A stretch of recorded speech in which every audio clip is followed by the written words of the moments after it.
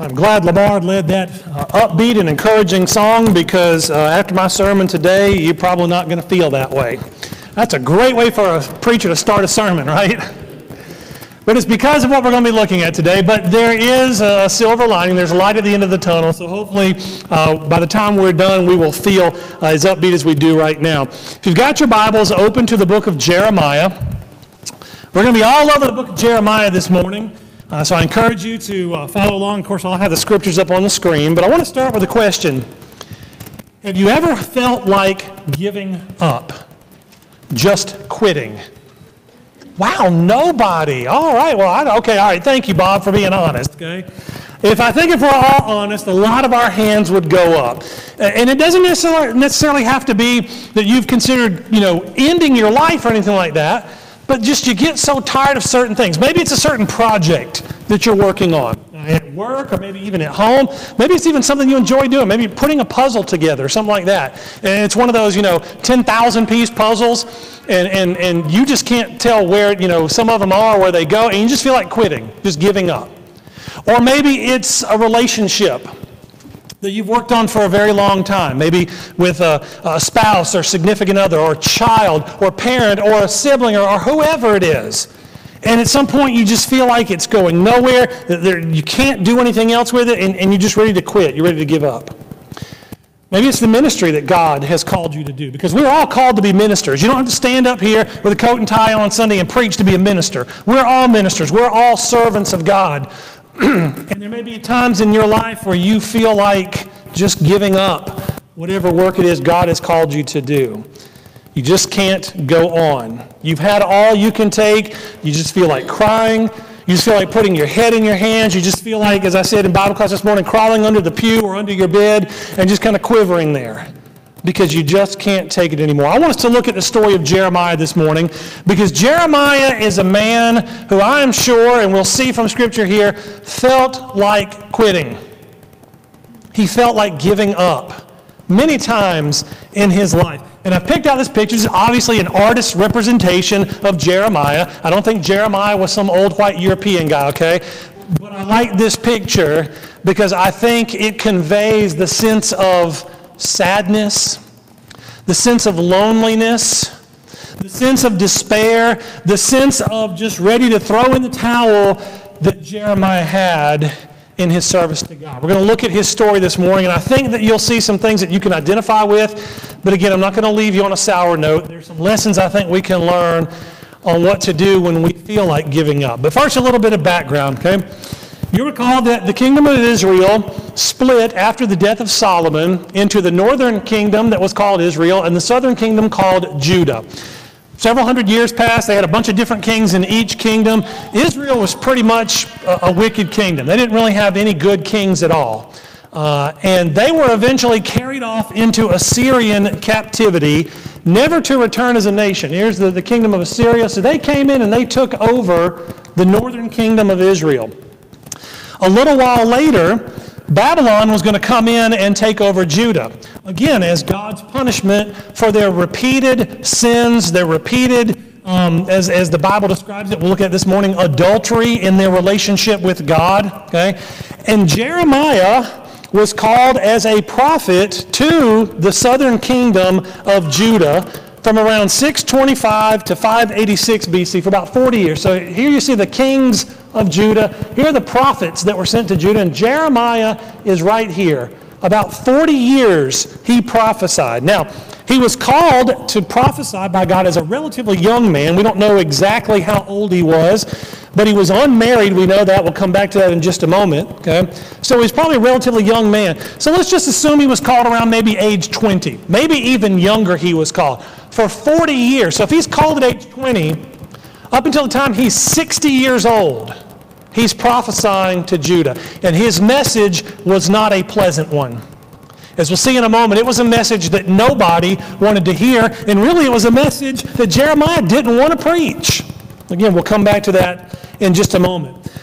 But his main message was a warning concerning the coming judgment in the form of siege by and deportation to Babylon. Here's a representation of the kingdom of Babylon.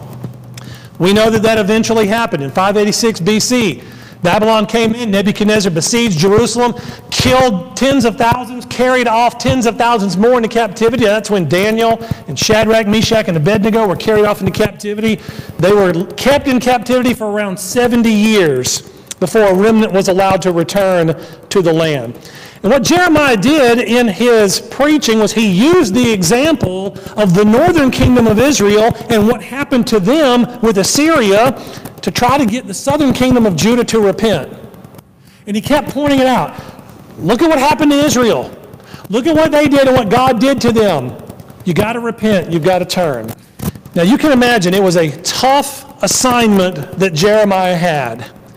And there are a lot of reasons, we're going to look at some this morning, why Jeremiah, I think, wanted to quit.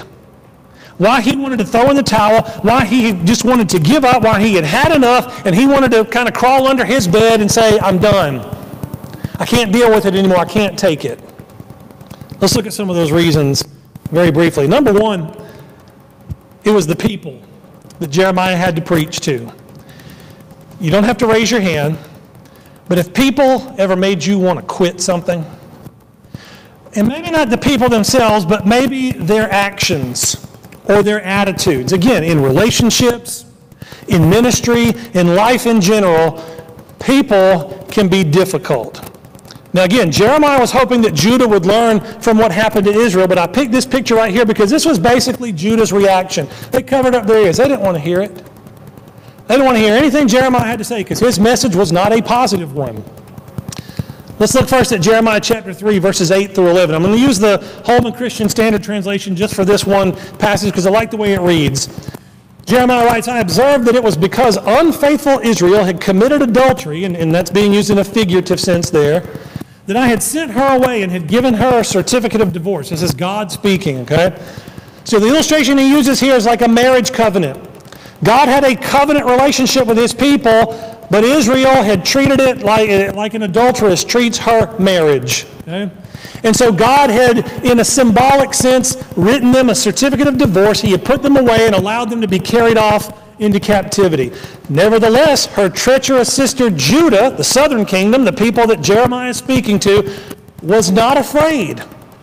She defiled the land and committed adultery with stones and trees. Those were the different idols that they worshiped, made out of wood and stone. Yet, in spite of all this, her treacherous sister Judah didn't return to me with all her heart, only in pretense. And the Lord said to me, Faithless Israel has shown herself more righteous than treacherous Judah. You see the picture Jeremiah is painting here? The people of Judah pretended to come back to God in pretense there. They came to the worship services. They sang the songs. They lifted their hands. They even filled in Jeremiah's sermon outline, so to speak. But it wasn't real. They worshiped with their lips, but their hearts were far from God. And God says through Jeremiah there, Israel was kind of more honest than Judah was.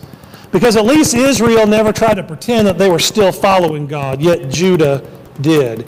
We also see in Jeremiah 7, verses 9 through 11, where God says, Will you steal, murder, commit adultery, swear falsely, make offerings to Baal, and go after other gods that you have not known, and then come and stand before me in this house, which is called by my name, and say, We are delivered, only to go on doing all these abominations?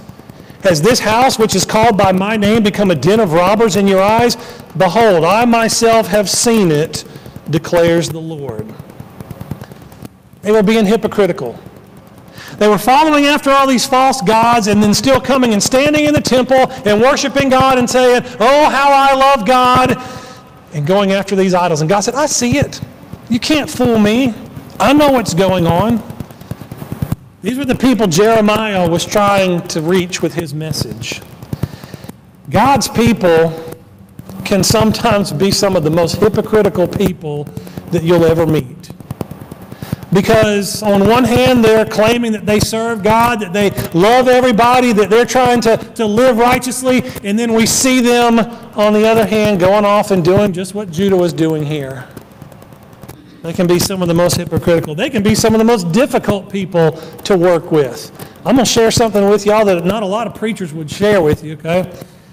There was one time I was working at a church, not this church, okay? I was working at a church, they made me quit. And I don't mean that they forced me to resign. I just had had enough, and I was like, you know what? I can't do this anymore. I can't take this. I can't deal with this. Uh, the attitudes, the, the, the way that people were acting, I said, I resigned. That's when I went back to culinary school. And for about eight years, I stayed out of ministry as my occupation. Now, I'll be honest, I was not, never tempted to leave God, but I was sure ready to be done with God's people, at least for a little while, at least that group of them. Because sometimes we can be very difficult people, and I include myself in that number. And so I think Jeremiah just got tired of dealing with the people. Number two, Jeremiah got tired of the work that God had called him to do. I mentioned before, Jeremiah's message was not very positive. He had a tough job. It was to preach a difficult message that no one wanted to hear. That message was basically this God is angry with you, and He's about to unleash judgment on you because of your sins. Wow, what a great message, right? How many of y'all like to hear that week in and week out? Yeah, I better not see any hands go up there. Okay? You read in Second Chronicles, which is a historical account of the children of Israel and, and, and, and their history there. We read there, the Lord, the God of their fathers, sent persistently to them by his messengers because he had compassion on his people and on his dwelling place, the temple. But they kept mocking the messengers of God, despising his words, and scoffing at his prophets until the wrath of the Lord rose against his people until there was no remedy. By the time Jeremiah arrives on the scene, God is like, I'm done. I'm done with you people. I'm tired of your wishy washiness. I'm tired of y'all turning your backs on me. I'm tired of you being adulteresses, as he used that descriptive term there. And he said, The judgment's coming. And so Jeremiah's message was not one of repent so that God will relent his judgment. Jeremiah's message was, It's coming and you better get ready for it. Basically, Jeremiah preached a 40 year sermon series called Captivity and Death. How'd you like to preach that one, Lamar? For 40 years, he preached captivity and death. I can imagine the pews were pretty empty on Sunday, probably after about year one, but I'm sure by year 40, there wasn't hardly anyone listening to Jeremiah's message. And another part of his message was that their only hope in all this was to surrender to Babylon and that things would go reasonably well. Now, can you imagine if a preacher stood up and said, Hey, this judgment's coming, you're about to be carried off into captivity. The best thing you can do is just go ahead and surrender, deal with it, and then God's got a plan. But if they didn't surrender, the city, the temple would be burned, there would be famine, and tens of thousands would die by the sword. And as I mentioned earlier, tens of thousands would be carried off into captivity. And we know what happened, right? They chose the second option. They chose not to surrender. I mean, they eventually did, but they chose to try to fight. And of course, Nebuchadnezzar besieged the city. There was famine to the point where, and this is really, this is bad, y'all, but women were eating their own children because there was no food in the city. That's how bad it got. And that was the punishment that God sent on people. And you can imagine that preaching that message over and over and over again to a people who wouldn't listen to it wore Jeremiah out. I mean, he was, you, you can imagine. He's just tired.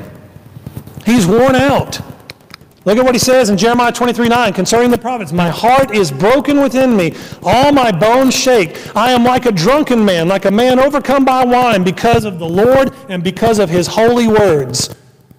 Jeremiah said, My heart is weak, my bones shake. I, am I'm, I'm wobbling around like a drunk man. I'm just so exhausted from this message that I've got to preach we can see why Jeremiah would want to give up. A third reason Jeremiah might have wanted to give up was because of rejection and futility. The people rejected that message, and who can blame them? I mean, we probably would reject that message too, wouldn't we? Who wants to hear doom and gloom all the time?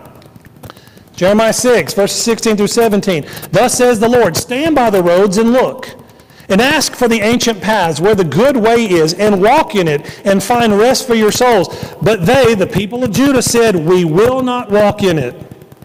I set watchmen over you, saying, Pay attention to the sound of the trumpet. But they said, We will not pay attention. Jeremiah's message was rejected over and over and over again. Every time he preached it, when he said, Look to the Lord, God, God has set these things up for you. They said, nope, we don't want any part of it. And not only did Jeremiah experience rejection from the people, believe it or not, Jeremiah experienced a type of rejection from God. Not that God rejected Jeremiah as a person, but if you look at Jeremiah chapter 11 and verse 14, God rejected his prayers for the nation. God says, Therefore, do not pray for this people, or lift up a cry or prayer on their behalf, for I will not listen when they call to me in the time of their trouble. As I mentioned before, God had had it. His patience was done. It was the straw that broke the camel's back, and he said, The judgment's coming. So, Jeremiah, don't pray for these people. And we know that he did. He's known as the weeping prophet. I'll put that verse up here in a minute. One of the reasons he's known as the weeping prophet is not because of, of just this horrible message he had to preach, but he's crying for his people. The people that he's trying to minister to, knowing that they're not listening, knowing that God's not going to relent, knowing what's coming, and he's upset. And so he experienced even that rejection from God. God said, Don't pray for him, Jeremiah. Don't do it. Constant rejection is enough to make anyone want to quit. I'm going to pick on James here for just a moment. James is a published author, in case you didn't know. One of the things that authors have to deal with is rejection. When they've got a completed manuscript or completed work and they begin sending it to publishers, that's about the only way they can do it unless they self publish, is they just send it to different publishers. And so many authors get those rejection letters over and over and over again. And so many authors just give up. They quit writing. They quit submitting those manuscripts because they keep getting rejected. You can understand that. It's enough to make anyone want to quit when you're constantly told no and you're constantly rejected. Jeremiah was rejected not only by the people, but in a sense, to a certain extent, by God, saying, Don't pray for them. Rejection's enough to make anybody want to quit. I believe that also Jeremiah experienced some loneliness. Here's a man who really could have used a sympathetic spouse and family, but when God first called him, he told Jeremiah, Jeremiah, don't get married. In Jeremiah chapter 16, verses 1 and 2, the word of the Lord came to me You shall not take a wife, nor shall you have sons or daughters in this place. Wow, God, that seems really harsh. You're going to call this man to prophesy for you, to give this message of doom and gloom, and you're not even going to give him a support system? No wife, no kids, no family? Why, God? Well, if you keep reading in verses 3 through 7, it pretty much says because they were likely to die. Jeremiah would want to mourn them and be comforted, and God said, There's not going to be any comfort. There's not going to be any comfort for those who mourn in Judah. In fact, he goes on to tell Jeremiah not to attend any social gatherings. Verses uh, 8 and 9 of that same passage, Jeremiah chapter 16, he says, You shall not go into the house of feasting to sit with them to eat and drink. For thus says the Lord of hosts, the God of Israel Behold, I will silence in this place before your eyes and in your days the voice of mirth and the voice of gladness, the voice of the bridegroom and the voice of the bride. So God said, Don't get married, don't take a wife, don't have any kids because they're likely to die and you're not going to be able to mourn them. And in fact, Jeremiah, don't even have any social gatherings with anybody because I'm done with these people. I don't want them celebrating. I don't want you celebrating. I don't want the, the people who are mourning to receive any comfort because I'm done. How many of y'all would have liked to have been Jeremiah? Man, this guy had it rough. No wonder he wanted to quit. But you know what? That's not all. It got even worse for Jeremiah. And again, you look at this picture and you see a man who's just done. The hardships he experienced. I'm going to share just a few of them that are recounted in his book there. Men from his own hometown plotted against him because of the message he was preaching. That's in chapter 11, verse 9 and following. He's put on trial for his very life, again, because of the message he's preaching. That's in chapter 26 and verse 11. The first draft of what we have is the book here, his prophecies, was cut up and burned by the king when it was delivered to him. That's in uh, uh, chapter 36. That's the picture right there. That's when he took the penknife and his sections were read. The king would just cut the scroll, throw it in the fire. That's what he thought of Jeremiah's message. That's what everybody else thought about it too. He was flogged and put in public stocks for people to mock, chapter 20 and verse 1. He was attacked by false prophets who were speaking a positive message. Oh, no, God's not going to punish us. Jeremiah was the lone dissent, and they're like, okay, we're, we're, we're not going to have this, Jeremiah. He was attacked by them. He was arrested and accused of treason, chapter 37 and verse 11. And in one of the most famous stories, he was dragged from his prison cell, lowered by ropes into an empty well in the prison yard. There was no water in it, in that cistern, but there was a thick layer of mud and muck, and Jeremiah sunk down deep into it and was left there for a while. Now, can you imagine going through all of that because you're doing what God told you to do? You're preaching a message of doom and gloom that no one wants to hear, that everyone's rejecting. You're not allowed any kind of support system other than God, which is really the only support system we need, but no physical support system there. And then all these things happen to you, and then you're finally lowered down into this muck, and we don't know how, how deep he sank, but you know, maybe waist high. Can you imagine mud and slime? Have you ever seen uh, like a bird bath that's just got all that green, nasty junk growing in it, or, or you know, uh, just, just, just picture that. And you're lowered down into that because you're preaching God's word. Again, no wonder he wanted to quit. No wonder he's known as the weeping prophet. Jeremiah 9 1. Oh, that my head were waters and my eyes a fountain of tears, that I might weep day and night for the slain of the daughter of my people. Again, those tears were not necessarily for himself, but for his people. But who could blame Jeremiah if he did shed a tear or two for his own predicament? I think every single one of us would have done so as well. Jeremiah felt like quitting multiple times in his ministry. Two passages I want to share with you Jeremiah's own words. Jeremiah 15, verses 15 through 18. O Lord, you know, remember me and visit me, and take vengeance for me on my persecutors in your forbearance, take me not away. Know that for your sake I bear reproach. Your words were found, and I ate them, and your words became to me a joy and the delight of my heart. For I am called by your name, O Lord God of hosts. I did not sit in the company of revelers, nor did I rejoice. I sat alone because your hand was upon me, for you had filled me with indignation. Why is my pain unceasing? My wound incurable, refusing to be healed. Will you be to me like a deceitful brook, like waters that fail? Notice that last verse there. Why is my pain unceasing, my wound uncurable? And that phrase there, will you be like to me a deceitful brook like waters that fail? He's, he's describing here these seasonal streams. And he's talking about a man who goes to the stream expecting water and there's nothing there. He's like, God, are you going to be like that with me? I'm going to you for, for some comfort, for some strength, and I'm not finding it, Lord. This wound that I've got, this message that I'm preaching, these people that I'm trying to reach, it won't be healed. I can't take it anymore, God.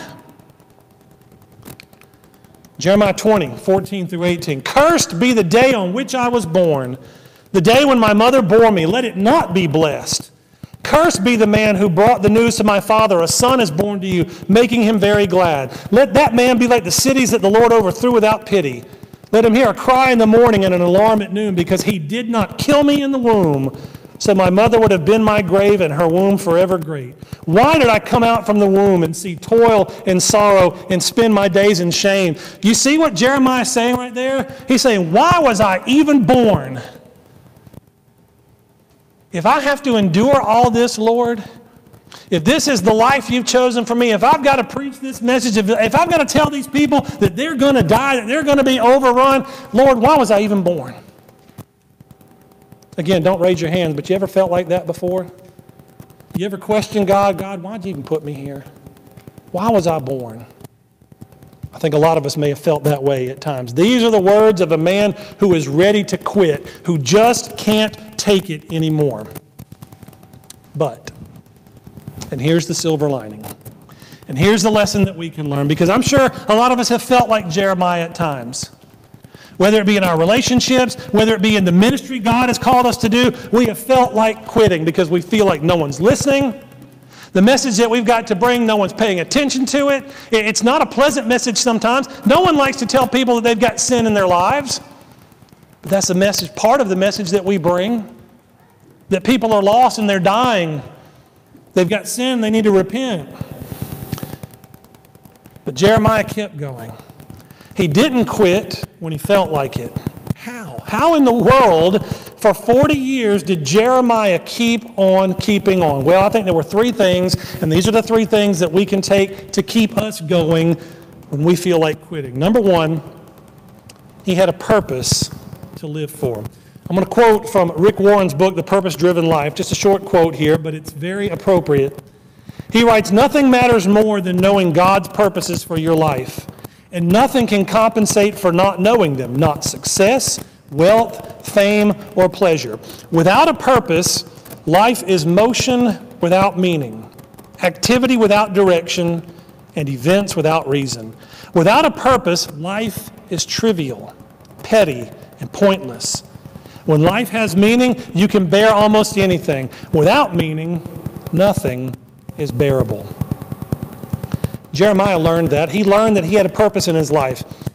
In Jeremiah chapter 1, the very beginning of his book here, verses 4 through 8. Now, the word of the Lord came to me saying, and this is God speaking to Jeremiah listen, before I formed you in the womb, I knew you. And before you were born, I consecrated you. I appointed you a prophet to the nations. Then I said, Ah, Lord God, behold, I do not know how to speak, for I am only a youth. But the Lord said to me, Do not say I am only a youth. For to all to whom I send you, you shall go, and whatever I command you, you shall speak. Notice, do not be afraid of them, for I am with you to deliver you, declares the Lord. God basically told Jeremiah, I've got a purpose for you. Before you even been born, Jeremiah, when you were still in your mother's womb, that womb that you would later on curse, that day that you were born, I had a plan for you, Jeremiah. And that's why I noted verse 8. God told Jeremiah, I'm with you. He may have felt alone at times, he may not have had a wife or a family to support him. The entire nation may have rejected him, but Jeremiah was never alone. And we are never alone as long as we have God in our lives. That purpose helped Jeremiah keep going even when he felt like giving up. Look at what he writes in chapter 20, verses 7 through 9. O Lord, you have deceived me, and I was deceived. You are stronger than I, and you have prevailed. I have become a laughing stock all the day. Everyone mocks me. For whenever I speak, I cry out, I shout, violence and destruction. For the word of the Lord has become for me a reproach and a derision all day long. If I say I will not mention him or speak any more in his name, there is in my heart as it were a burning fire shut up in my bones, and I am weary with holding it in, and I cannot. Jeremiah says whenever he wanted to stop preaching the message, whenever he wanted to stop that message of doom and gloom, he couldn't. And I don't think he means in a miraculous sense either that he just he couldn't help himself. I think he realized the message that he had was that important. And it was a message people needed to hear, even if they didn't want to hear it. And he said, even when I wanted to stop, I couldn't. I couldn't hold it in. He had a purpose, and he knew what his purpose was. It was to give that message that God had given him. A second thing that kept Jeremiah going is that he had hope. He had hope. A number of years ago, some researchers performed an experiment to see the effect that hope has on those who are undergoing hardship. Two sets of laboratory rats were placed in separate tubs of water. The researchers left one set in the water and found that within an hour, all the rats had drowned. The rats in the other tub, however, were periodically lifted out of the water and then put back in. When that happened, the second set of rats swam for over 24 hours. Why? Not because they were given a rest, but because they suddenly had hope. You see, those animals believed that they could stay afloat just a little bit longer, someone would reach down and rescue them. Jeremiah had that hope. He may have felt like a drowning rat at times, but he had hope in God that God would rescue him. Look at what he writes in Jeremiah 29, verses 10 through 11. For thus says the Lord, when 70 years are completed for Babylon, I will visit you, and I will fulfill to you my promise and bring you back to this place. This is a very famous verse here. It's a verse we have up on the refrigerator and mirrors in our house. Verse 11 For I know the plans I have for you, declares the Lord plans for welfare and not for evil, to give you a future and a hope. There was a silver lining in Jeremiah's message. Not if you repent, God will spare you. No, the judgment's coming. You're going to be carried off into captivity. This famine and this war and this besiegement, it's coming. But if you'll stay faithful to God, even through all that, God's got a plan.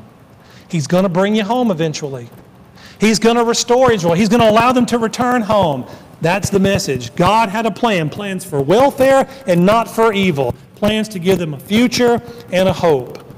Jeremiah knew the wars, the destruction, the famine, the captivity were not God's ultimate end for his people. Look at what he writes in the next two verses, verses 13 and 14. You will seek me and find me when you seek me with all your heart.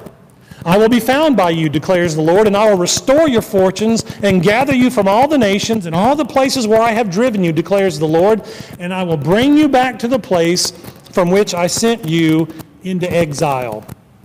Do you see the promise there? Do you see why Jeremiah could have hope for not only himself, but for God's people? Because God made a promise. He would eventually bring them back. They weren't going to stay in Babylonian captivity for forever. I'm going to put a quote up here. It's not a Bible verse. I've still got it in the white text on the black background, but I, wanted, I wanted to put it that way because it's important, okay? And it is this God does not punish us or allow bad things to happen to us in order to pay us back but to bring us back.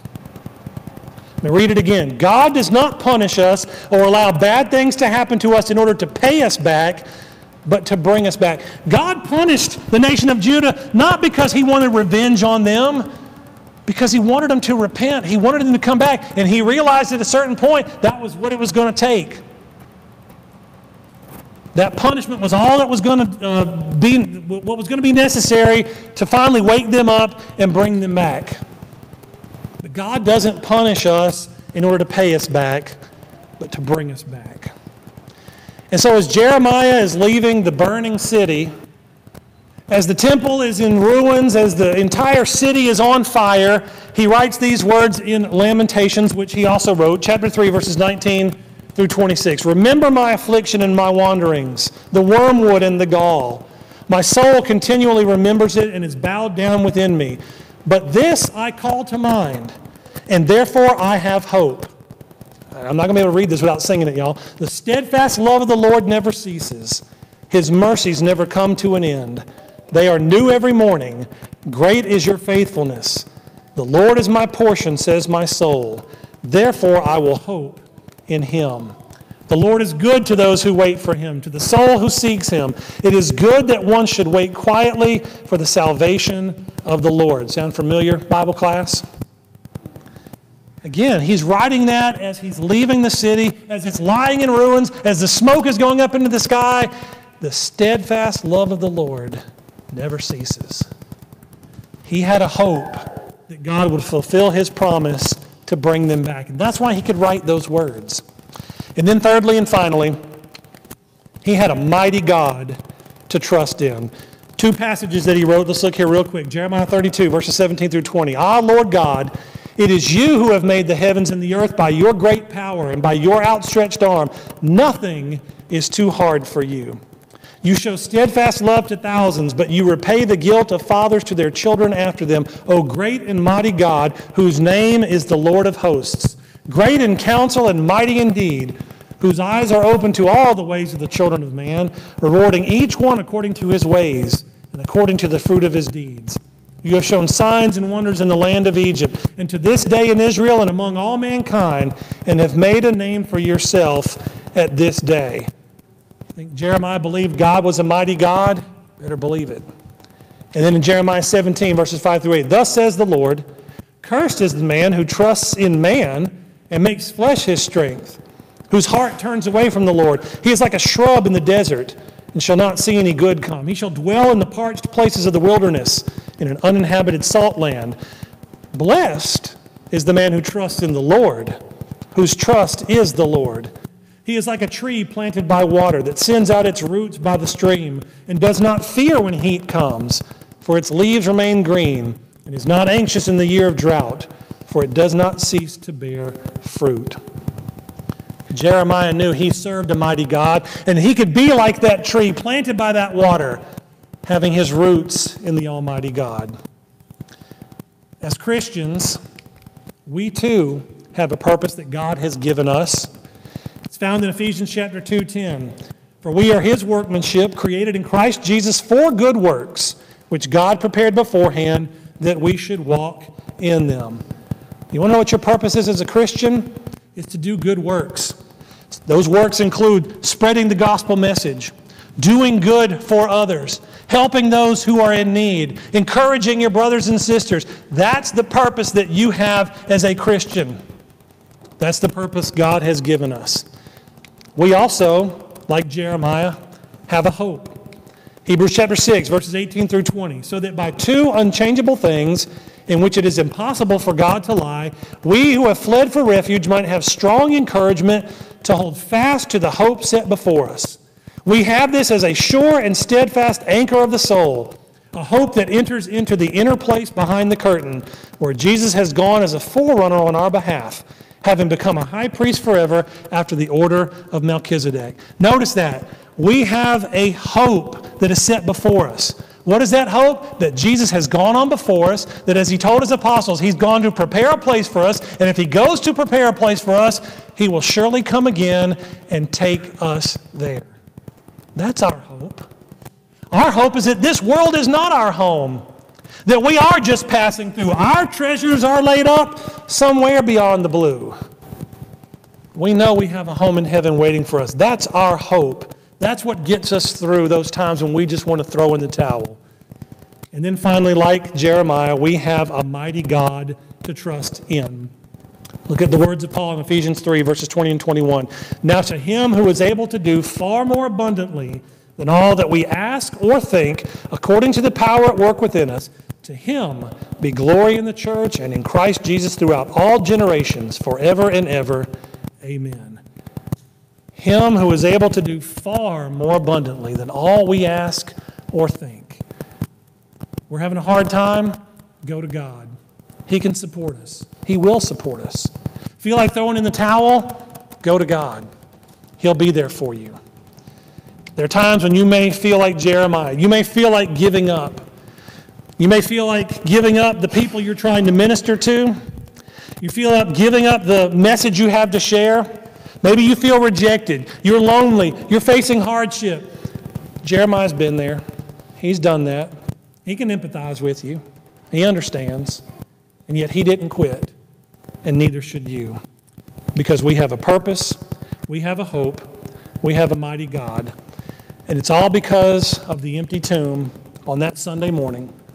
When Jesus rose, when he conquered death, when he conquered Satan, and uh, several days later would ascend back into heaven, going to prepare that place for us, we can have that hope. So I encourage you this morning if you feel like giving up, if you feel like throwing in the towel, don't. It's okay to feel that way. I think it's human nature, but don't give in to it. Learn from the lessons of Jeremiah. Learn that we have a hope, we serve a mighty God, and we have a purpose for Him.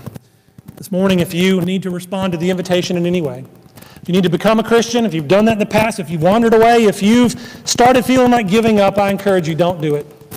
Come forward this morning for prayers, for strength, and for encouragement. Whatever your need would be, we invite you to come and respond as together we stand and sing.